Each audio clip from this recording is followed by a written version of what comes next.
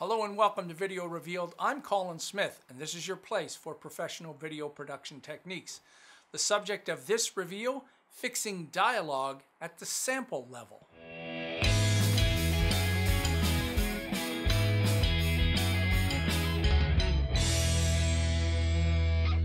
All right, fixing dialogue is never fun, but there are a couple of really important things to know about in Premiere Pro to make that easy.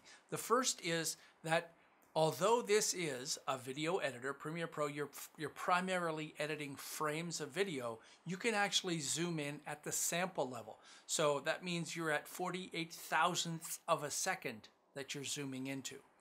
Okay, let's go have a look. So in this dialogue here, if we listen to it, I want to get rid of that little lip smacking. It's a motif.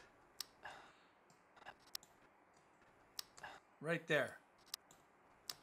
So if we zoom in,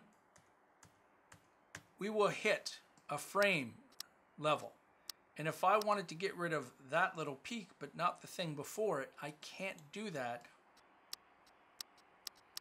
there's a couple of other things to look at here. In the little flyout menu for uh, the timeline, you can turn on or off rectified audio waveforms. And when you turn this off, now it looks like your typical waveforms. There's also something in here to help you see very quiet video, and that's this logarithmic waveform scaling. When I turn that off, you can see it almost disappears. I'm not changing the actual level, I'm just changing how it's shown so it's easier to see. All right, so by default, we're at frame markers here, frame ruler units. If you click in here and choose show audio time units, boom, look at this. Now I'm moving at a sample level. And if you combine this with the maximize frame, so that's the tilde key on North American keyboards, using my scroll wheel, moving this up. Sweet mama, look at this. I'll zoom, zoom, zoom, zoom, zoom, zoom, zoom. I'm down at the sample level. I could even go further if I want, all the way down into here. And while I'm in here, uh, I'm just going to show you how detailed we can get. I could, I'm working on the audio uh, waveform. I could be drawing in waveforms, drawing in keyframes rather, and dropping this down. And when we zoom out, you know, if I go back to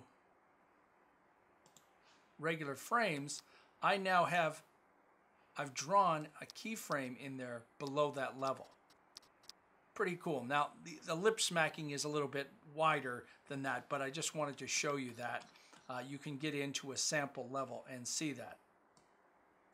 All right, let me reset my workspace and let's look at another problem here. So in this particular dialogue, two cars. And they also I want to get rid of him saying, hmm. All right, so let's listen to this. Hmm, that little. Now, I might not have to go down to sample level for this.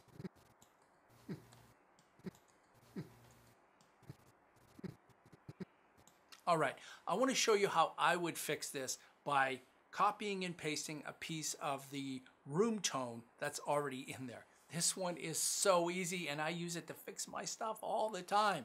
I even use it when I accidentally said turn off and I meant turn on. I'll take the word on and I'll stick it on the word off and it's seamless. Let me show you.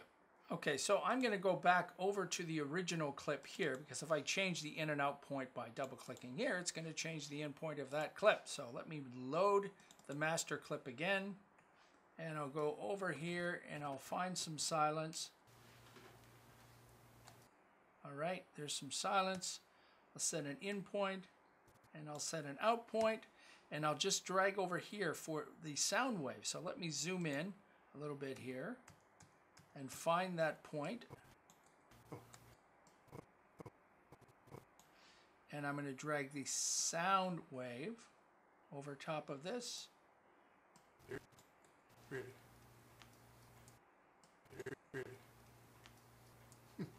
oh, actually it was the hmm that I wanted to get rid of.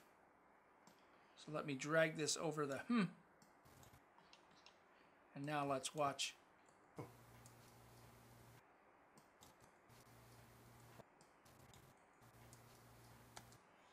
Holy smokes, I tell you, I use that all the time. It only works um, or it works that easy, only if you have the some dead air um, in that same clip. And hopefully you do before or after you run, as long as this, the background noise is the same. And here there's a fire crackling, and in my room tone, it's the exact same room tone happening all the time.